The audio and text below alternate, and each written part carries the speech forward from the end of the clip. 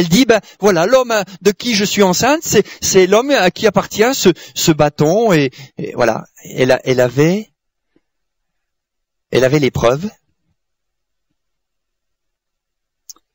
Et des fois, on se demande pourquoi certaines histoires sont dans la Bible.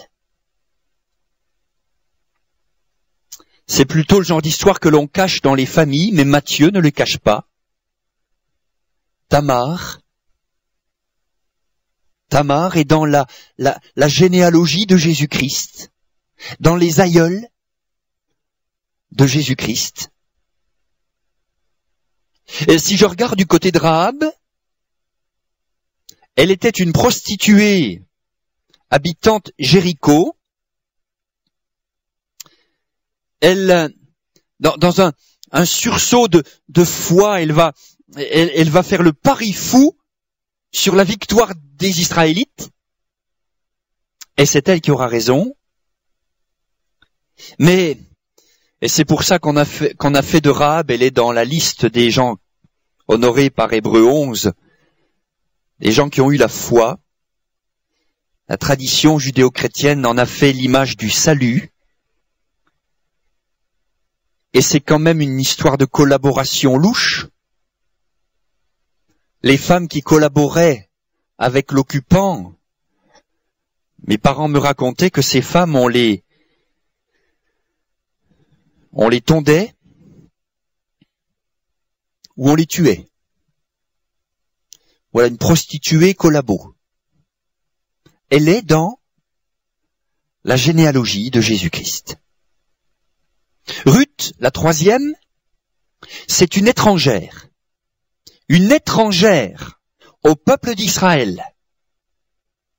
Elle n'est pas issue des douze tribus. Elle est même originaire d'un peuple qui est né suite à une honteuse coucherie entre la fille aînée de Lot et son père qu'elle avait enivré. Ruth fait partie de ce peuple-là, ennemi, ennemi du peuple d'Israël. Jamais un juif n'aurait consenti à épouser une femme de cette tribu. Boaz va le faire. Et Ruth va quelque part l'y obliger en lui disant c'est toi qui as le droit de rachat sur nous. C'est encore une histoire dont on se passerait bien dans les mémoires familiales, mais Matthieu, Matthieu le dit. La femme du riz, on ne connaît même pas son prénom. Ça me fait penser à toutes ces femmes dont on nie l'identité. Tu es la femme d'eux. Tu existes parce que tu as épousé un tel. Mais toi, voilà ce que ça veut dire, hein, la femme d'eux. La femme d'un autre d'ailleurs, parce que dans les turpitudes du palais de Jérusalem, David va faire tuer son mari et la prendre pour femme. Une femme instrumentalisée, une femme abusée, une femme qui vit un drame, elle est aussi dans la généalogie de Jésus-Christ.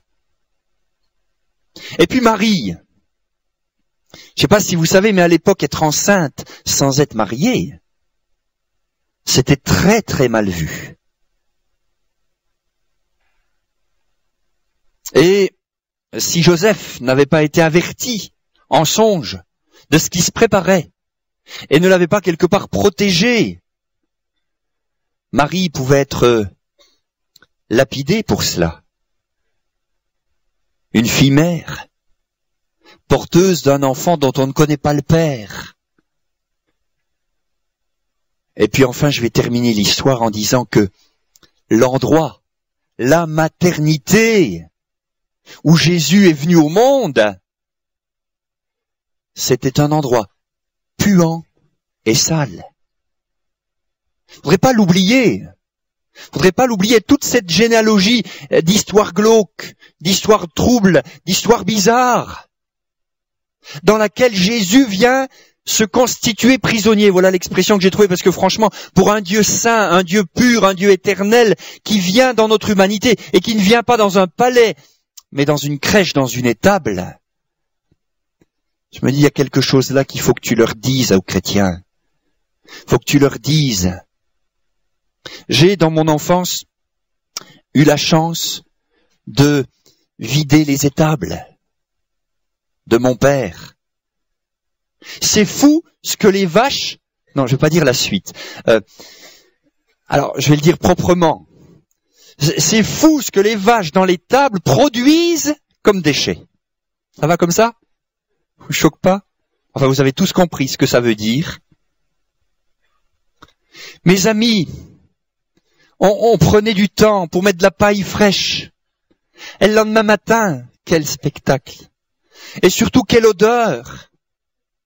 Et, et il fallait prendre la fourche et remplir la brouette et sortir jusqu'au tas de fumier. On rentrait et il fallait ensuite aller à l'école. Mais l'odeur vous imprègne les vêtements. Jésus est né dans une crèche. Et je vais pas vous choquer, je veux pas vous choquer, mais je vais vous dire que quand il vient dans un cœur, quand il est venu dans mon cœur, c'était à peu près ça. Jésus est venu dans l'humanité via Tamar, Rahab, Ruth, la femme d'Uri, Marie, la crèche de Bethléem.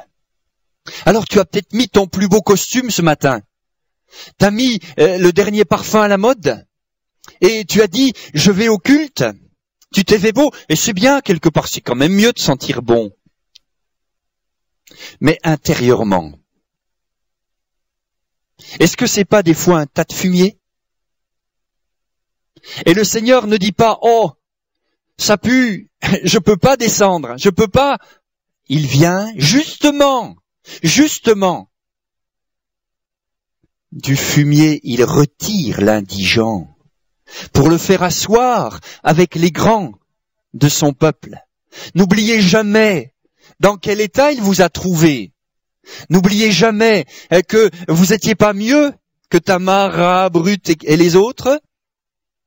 N'oublions jamais qu'il n'est pas né dans une clinique aseptisée, mais dans une crèche puante.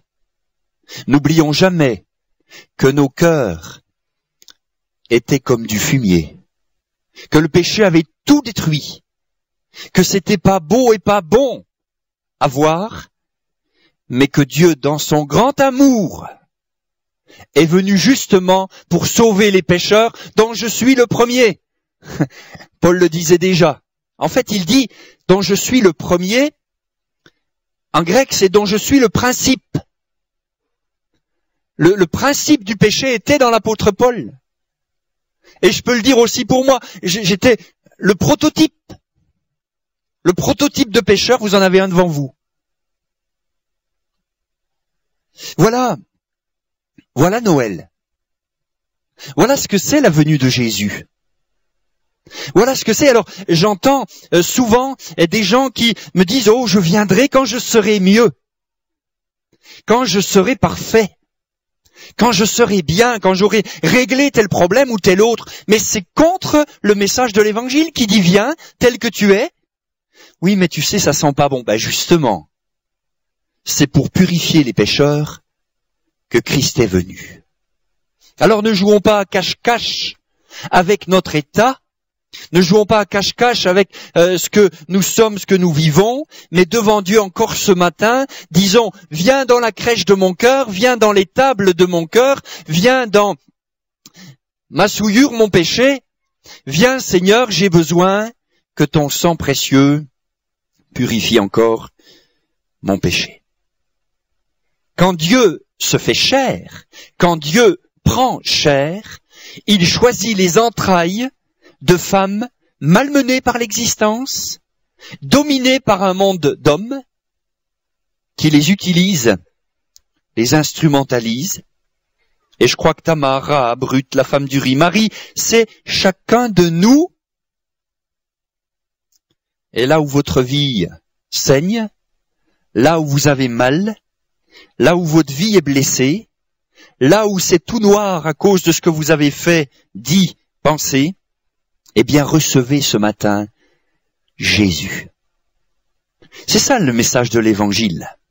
Je crois que on peut retirer cette première, cette première pensée de toute la généalogie de Jésus.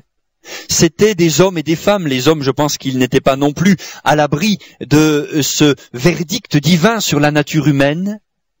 Ces hommes et ces femmes, de la même nature que nous, pécheurs comme nous, qui voient un jour venir vers eux le Sauveur qui se fait homme. Suite à cela, on va aller cette fois-ci dans l'évangile de Luc et poursuivre notre pensée sur ce que ce que cette femme, la, dernière citée, Marie, a dit. On l'appelle Cantique de Marie. J'ai remarqué qu'il y avait autour de la naissance de Jésus trois cantiques. Euh, trois cantiques, on pourrait presque dire trois prophéties.